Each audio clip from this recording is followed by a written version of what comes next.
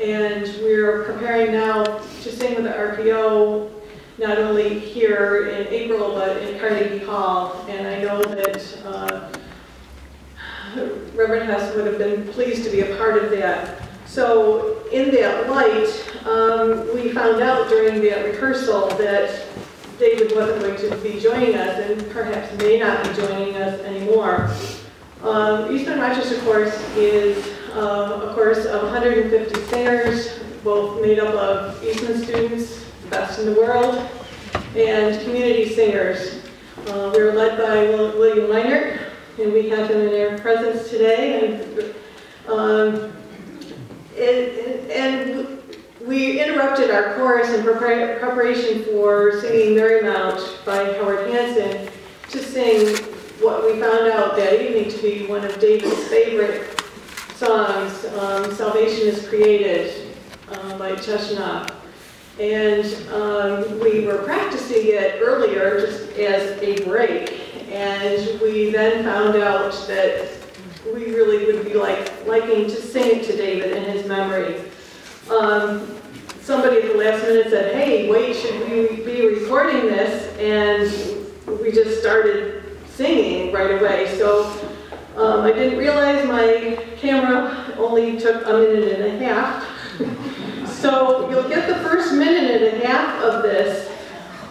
I fortunately looked at it before the song was over and captured the last few minutes. So, so bear with, or last few 30 seconds. So bear with me here. This is Eastman Rochester Chorus singing Salvation is Created. Um, I apologize for the brief, abrupt beginning, but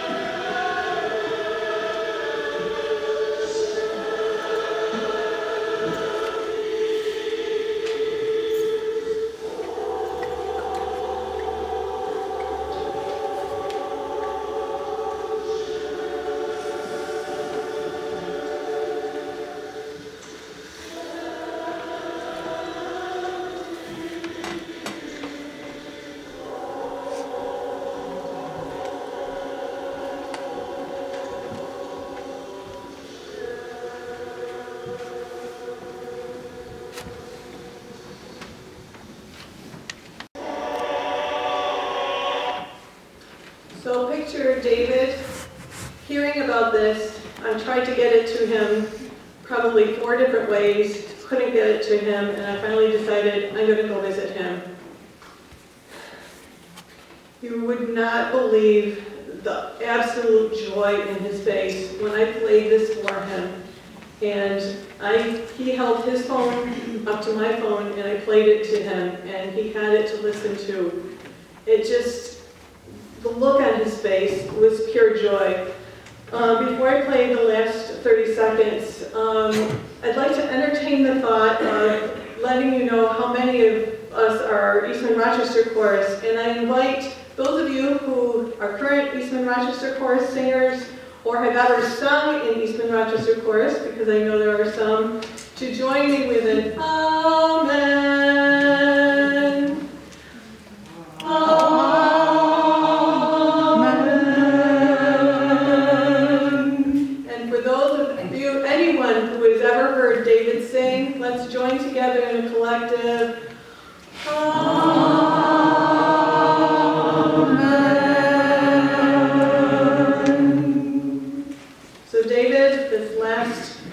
Is for you.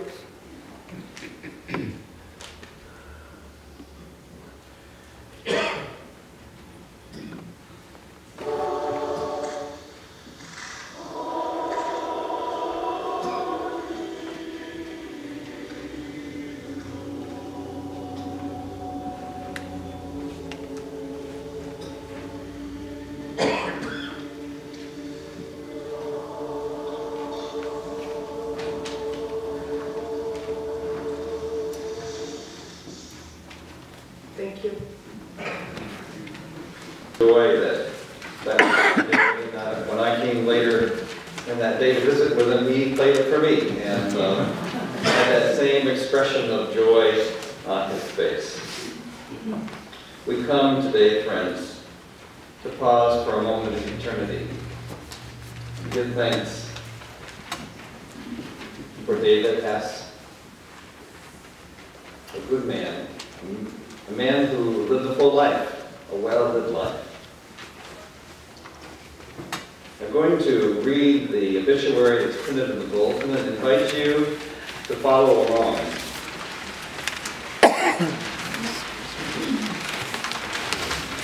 I always knew David as David and never knew what the C stood for until I went to visit him in the hospital and they didn't have a David Hess, and they wouldn't let me see anybody else. so.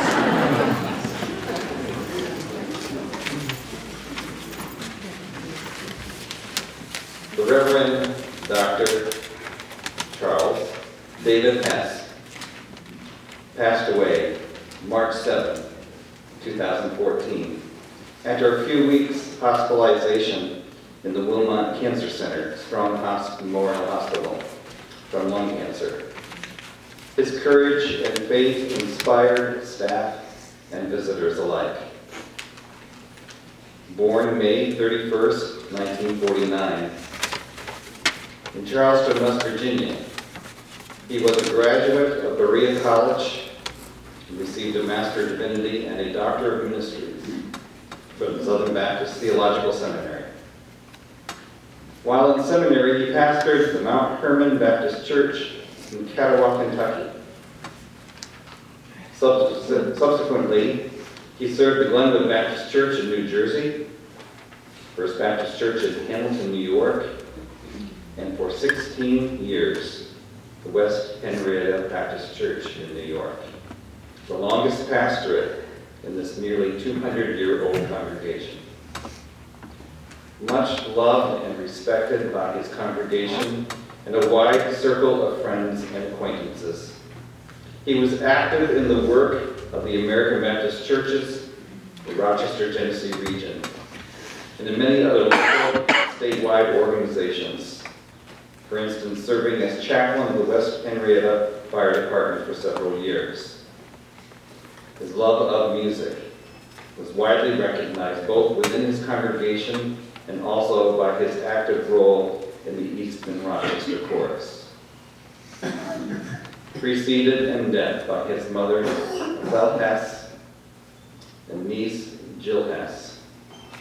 He is survived by his father, Charles E. Hess, brother, Gary, married to Marcia, nephew, Chad Hess, married to Tiffany, niece, Jen Miller, married to Derek, great niece, Lacey, great nephew, Sawyer, Charlie, and Waylon, and his beloved dog, Buster. Join me in the invocation.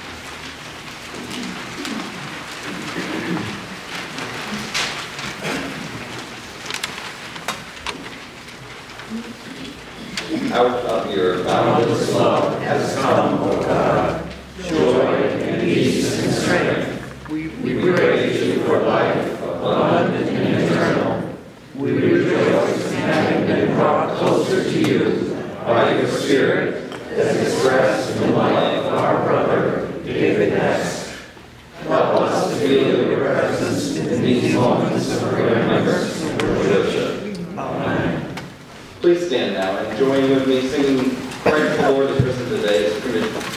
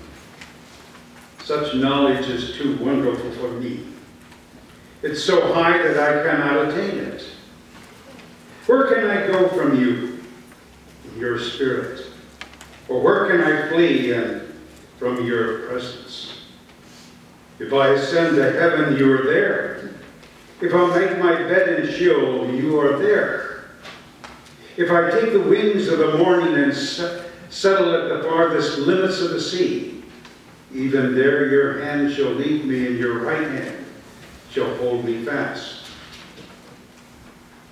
Search me, O God, and know my heart. Test me and know my thoughts. See if there is any wicked way in me, and lead me in the way everlasting.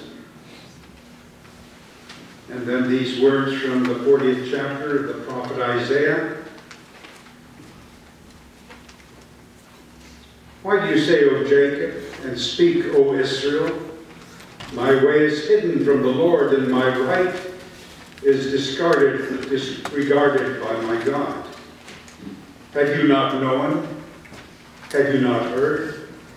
The Lord is the everlasting God, the creator of the ends of the earth. He does not faint or grow weary. His understanding is unsearchable. He gives power to the faint and strengthens the powerless. Even youths will faint and be weary, and the young will fall exhausted. But those who wait for the Lord shall renew their strength. They shall mount up with wings like eagles. They shall run and not be weary. They shall walk and not faint. Will you join with me in an ancient prayer familiar to most all of us, known as the Lord's Prayer? Let us pray together. Our Father, who art in heaven, hallowed be thy name. Thy kingdom come.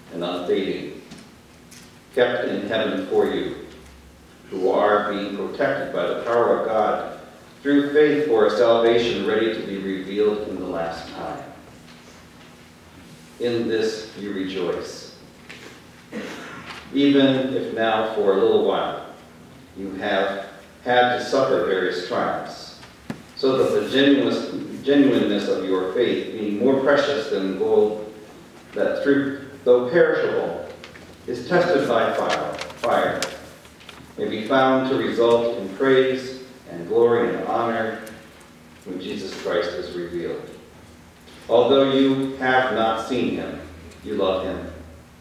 And even though you do not see him now, you believe in him and rejoice with an indescribable and glorious joy, for you are receiving the outcome of your faith, the salvation of your souls. Jesus prepared his own disciples for his death. Give ear to his words the Gospel of John, chapter 14. We're reading verses 1 through 3, 15 through 21, and 25 through 27. Do not let your hearts be troubled. Believe in God. Believe also in me. In my Father's house there are many dwelling places. If it were not so, would I have told you that I go to prepare a place for you? And if I go and prepare a place for you, I will come again and will take you to myself, so that where I am, there you may be also.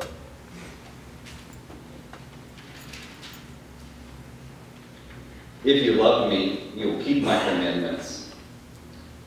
And I'll ask the Father, and he will give you another advocate to be with you forever.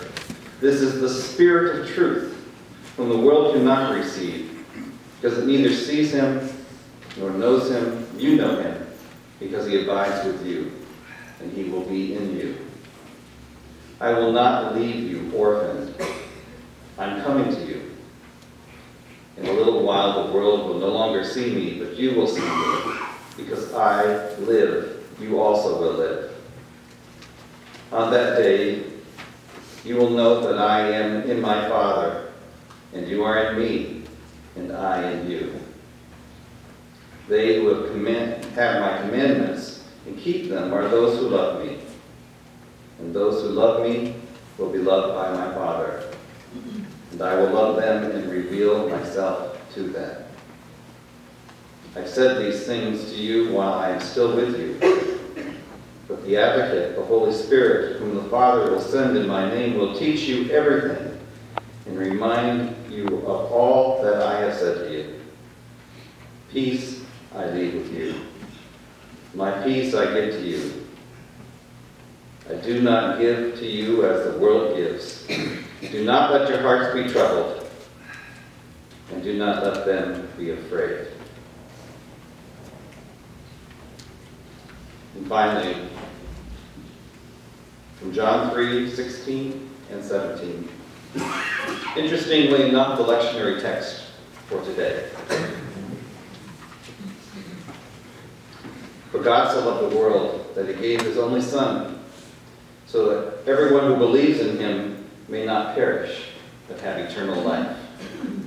Indeed, God did not send the Son into the world to condemn the world, but the, that the world would be saved through him.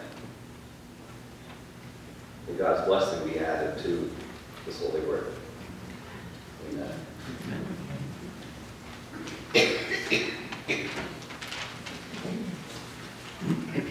I begin with remarks today with um, words that are shared from another friend of David, a leader in our denomination, our General Secretary, A. Roy Medley. I shared with him um, about David's death soon after he died, and I had forgotten that Roy had that connection with New Jersey, and Roy was executive minister there. And Jim and, and David's and Roy's lives intersected in a wonderful way. Hear his words. Dear friends, my heart grieves with yours today. I cannot think of David without remembering his anim- anim- animated, keen wit and good nature. I loved being with him in meetings because he could always make a deadly, dull agenda come alive with laughter. And David was a great one for late night card games, which always caused me to wonder where a Baptist from West Virginia learned to play cards so well. David was an outstanding pastor with a heart with room for all and a mind that was keen and insightful. David was courageous and David was humble. These were gifts that enabled him to make even his death a moment of grace for the rest of us. I recall the many times David would put his hand on my sh- shoulder and his West Virginia accent, I can't do it, but Roy? Roy says, I'm sure God, no, I'm not sure that God speaks with a West Virginia accent. But I rejoice with David that God's voice has called out to him. David, welcome home, son. Thanks be to God for the gift of resurrection through Christ our Lord.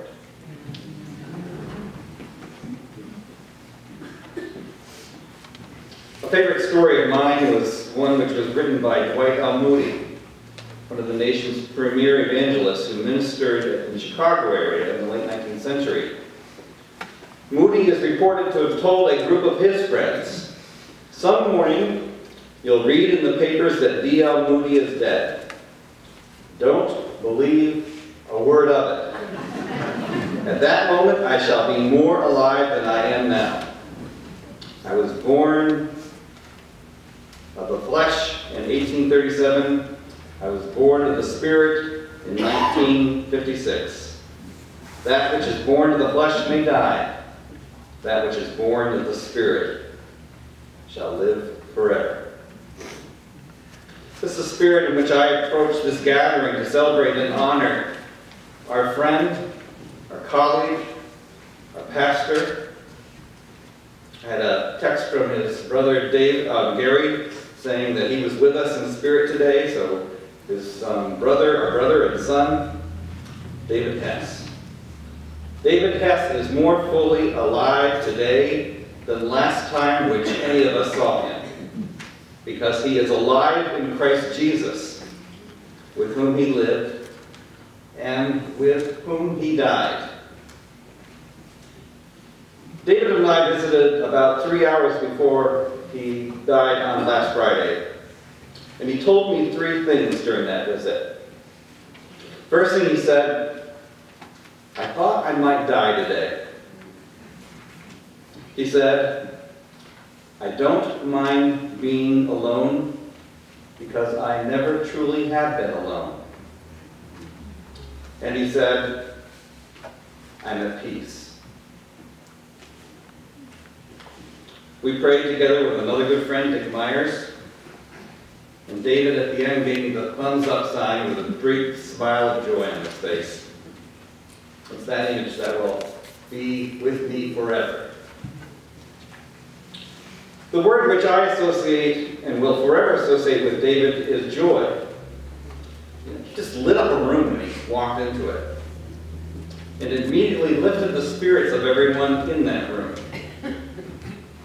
He approached life with a generous optimism. One of the first tasks on my plate as an executive minister when coming to the region was having to fire David. It's not one that I look forward to at all. I arrived on the scene in 2002, and prior to my coming, the American Baptist churches reorganized and eliminated the funding for the position of World Mission Support, which David held. He was our region staff person. He was paid by funds from this national, um, from the national denomination. And David was such a good match for this work. He loved mission work. He loved missions. He loved, he was very supportive of missionaries. And his enthusiasm was just contagious with people. So I dreaded, I dreaded that inevitable conversation. And I arranged a meeting, and David, in his joyful manner, said to me, I know you have to fire me. And I want you to know I'm fine with that. But I'll do all I can to support you as you take on this work. I was the one who was a wreck about this. David accepted it with grace. Of course, he was around and kind of knew the writing on the wall. He had heard through the grapevine that this funding was going to be evaporating. But he just accepted the news with such grace. Just like he accepted the news a few weeks ago that he had stage four lung cancer. Bill Reynolds, an American Baptist colleague and a chaplain at Strong Hospital, told me that he never saw someone move so quickly from diagnosis to acceptance. David described for me the poor resident doctor who had been given the task of sharing the sad news with him. Strong as a teaching hospital. So a very young resident doctor comes in sheepishly, and David says, I know. And this, you can see the, uh, a sigh of relief on this young doctor's face. Probably the first time he had to do that with anyone. But relieved that David just acknowledged, just accepted what he was told. When visiting with David, I watched the staff at the hospital, even those who weren't assigned to him, would stop in to allow a little of his joyous optimism to brighten their dark, bitter cold days. That was the second polar vortex we were experiencing. The other two things I would want to share about David is that he was always ahead of the curve when it came to technology and media. You rarely could beat him to a first showing of a movie that when it was coming out. And he was very invested in technology. He introduced the region to the World Wide Web. He designed the region, uh, region's original website. And um, always, as always, there was a touch of the whimsical in David. So we included these cartoons that were on the website and even a video cam of his bird feeder. the second thing that I would want to share is about David is that he was one of the finest preachers I've ever heard. The West Henrietta Baptist folk here gathered um, wouldn't want to let this piece of information out for, tr- you know, this, this bit of truth out for fear that some other church would snatch him away. But David was an excellent preacher. He was current. He was insightful. He was challenging. He was passionate and always joyful. I'm blessed to have known David these past 12 years. The region was blessed to have David's presence here for the last 16 years. He exemplified the best of what this region represents and his core values of respect and godly justice and reconciliation. He exemplified the best of what it means to be a Christian.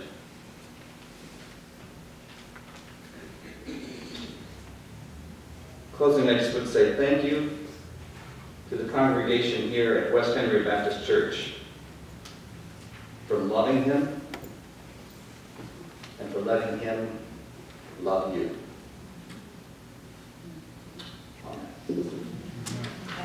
Amen.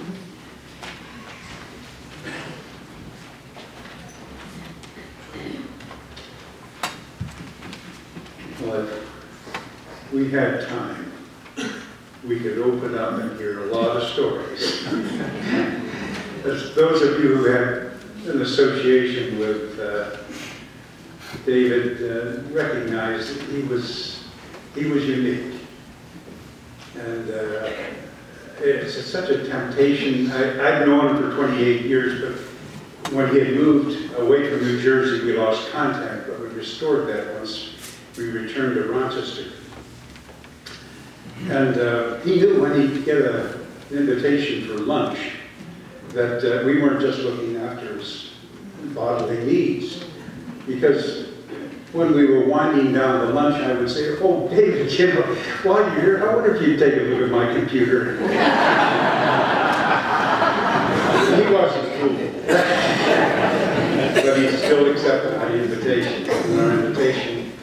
And one of the great times was back in 2002. I had an opportunity to go to London for three weeks to cover for a British friend that I'd come to know in Italy earlier. And he was on a mini sabbatical, so he asked if I would cover for him in uh, South Croydon, just south of London. Well, we were excited about going, Flo and I, and, and then got to think, why not extend an invitation to David? This would provide him for free overnight for the period of time that he could come. So he flew over separately, and we met him, and, and uh, he and I went into London a number of times by bus, which stopped right in front of the manse, and then picking up the train that would deposit us in the heart of London. And uh, he used to say, I could sniff out a McDonald's restaurant in London. I'd been there before, so I knew where some of them were. But we had a wonderful time. And uh, I'm so glad that uh, he had that opportunity and experience. But there are so many other stories, and I don't want to take them away from uh, uh, letting David speak for himself. Because you know, this service has been planned by David. The music, the, the fact that uh, his last sermon, which was preached right here in a chair in front of the communion table, with his oxygen tank, this was on the 16th of February, he, he um, chose as his title, Dealing with Uncertainty, and he spoke about being in that per- period of uncertainty between getting some ominous warnings and then having conclusive evidence. And uh, it was a, a great gift to us. And in web, his website for the church, uh, if you haven't visited that, I would suggest you do so. He, uh, he spoke about himself as a raging moderate. Now, how do you define that in terms of the political spectrum? but uh, that was David. He had the ability to, to, in a very succinct fashion, incorporate a great deal.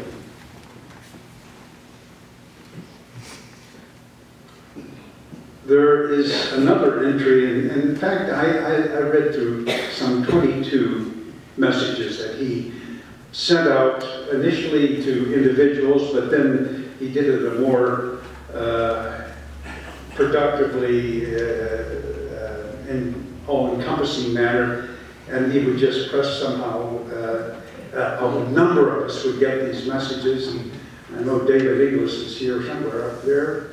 Yeah, I know, I read about that comment that you offered to him too in response. And he picked that up because it was an element of humor that was mixed into the whole.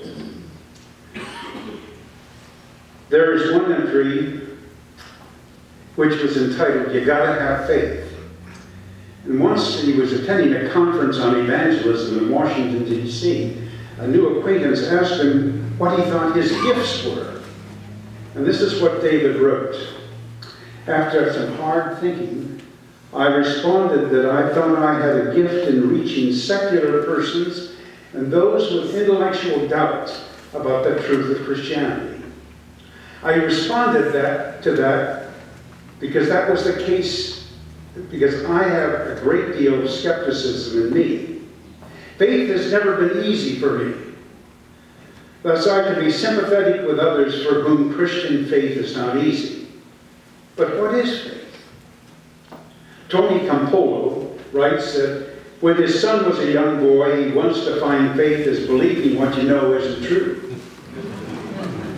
Now, I can see how easy it is for many to arrive at that definition of faith. But faith for me has never been that. I would rather define faith as believing in that which I think really is true, though you cannot absolutely prove it. As long as human knowledge is partial, and I believe that will always be the case, at least on this side of death, faith is necessary for atheist as well as for Christian. I always have been struck by the words of Harry Emerson Fosdick. A man can put off making up his mind, but he can't put off making up his life. He was pointing out that the truth that we cannot refuse to live until all our questions, we, that we cannot refuse to live un, until all our questions are answered. Answers will come only by and through our living, and Christians believe at the end of our living. Paul was right, for we walk by faith, not by sight. Well, I, I've saved these uh, emails, and uh, looking through them uh, has been a gift that continues to give. Um, let me share a bit from the one that was written on the 28th of February. After telling of having settled most of his legal affairs, he chuckled about the young woman who called to inform him that uh, after he had canceled his contract with Delta Sonic, that if he chose to renew his contract, he would be paying more. And then she asked, well, what, what- didn't- wasn't the service satisfying? And he said something about, well, I'm entering hospice, and, and and so I think that just passed right over her head. She came back and she said, well, if you change your mind, just let me know. But that sense of humor was captured by Barbara Miller here, who sent a word to him, and she said, look, if things change up, eh, and, and, and, and you do recover, these are my words, I'll be happy to pick up the difference.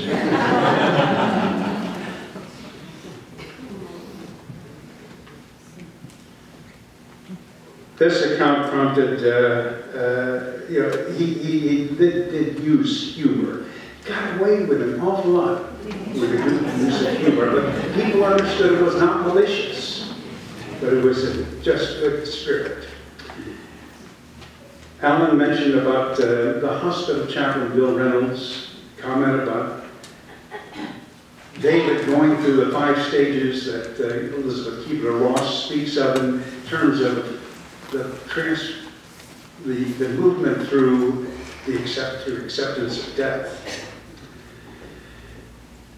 But once when he was asked to uh, give a, a reason, perhaps how he had come to this measure of peace, he offered three uh, remarks, because, and then he mentioned something about a three-point sermon.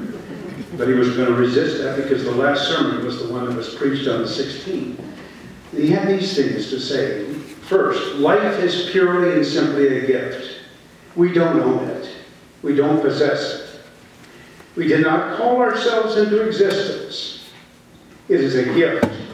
One day, we will have to relinquish it back to the one who gave it. The most important emotional response is that of gratitude. If this life is all there is, I would still be deeply grateful. It has been wonderful. I'm truly blessed. This allows me to approach my own life and death with a sense of lightness.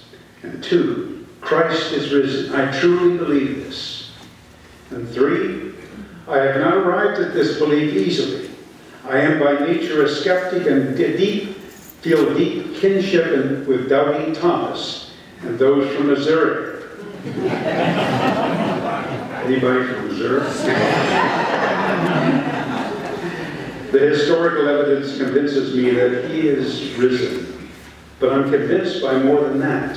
One of my favorite scenes from the play Cotton Patch, Patch Gospel is when Jesus first appears to his disciples after his resurrection.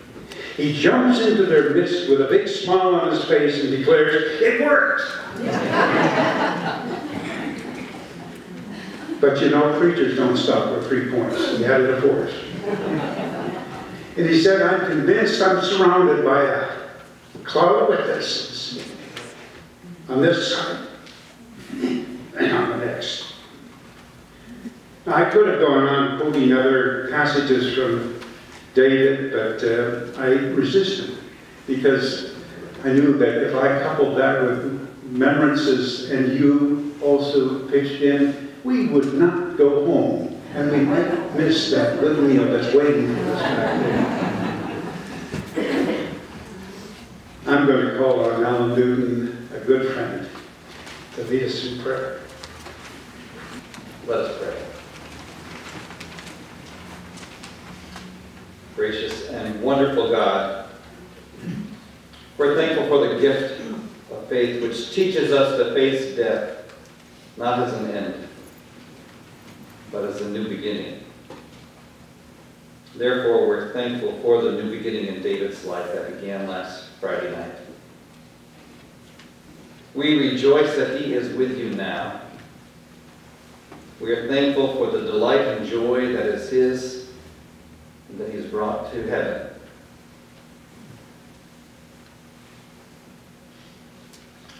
God, we weep, but may we in our sadness also find tears of happiness. We grieve our loss, but in our grief may we find relief that while David, with David there was discomfort, he was spared suffering. We're left with a measure of anxiety future for this church and life without David. But may that anxiousness be filled with hope and with possibilities of what you're already planning for this church and for us. Oh God, may we take into our hearts all the joy and the wisdom David imparted to us in all these years of association with him. Especially may we develop the kind of relationship David had with you, O oh God, so that we may live with the same peace, the same assurance, the same trust, same ability to, to doubt and question and come out on the other side with greater faith. Finally, O God, we thank you for the gift David has been to us. We now return our gift back to you. In Jesus' name we pray. Amen. Our closing hymn is number 368, My Hope is Built. Please stand as you're able.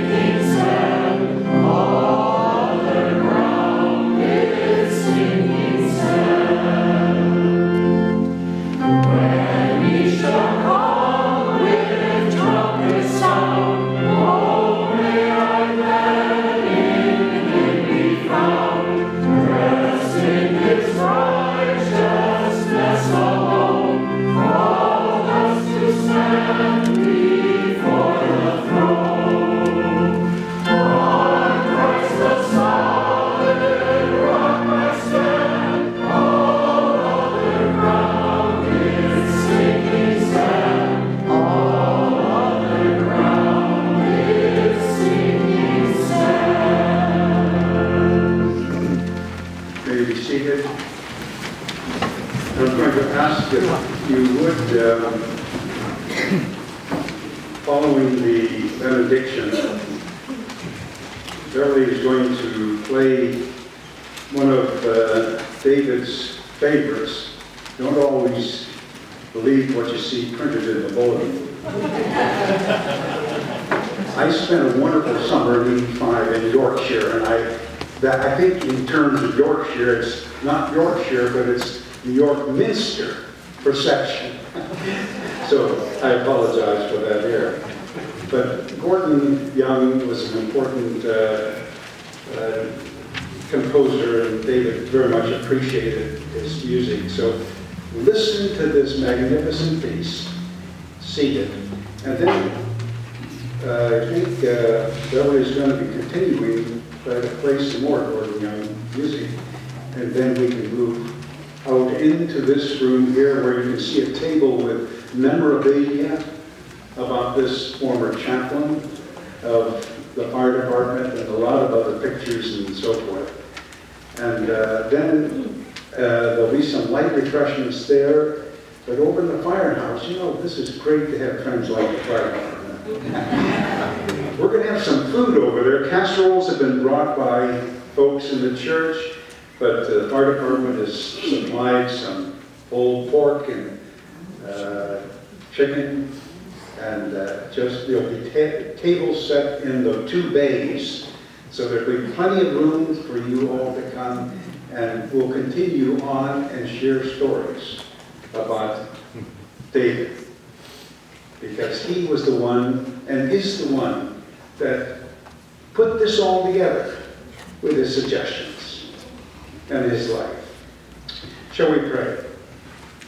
The Lord bless you and keep you. The Lord make his face to shine upon you and be gracious to you. The Lord lift up his countenance upon you and give you peace, now and forever. Amen.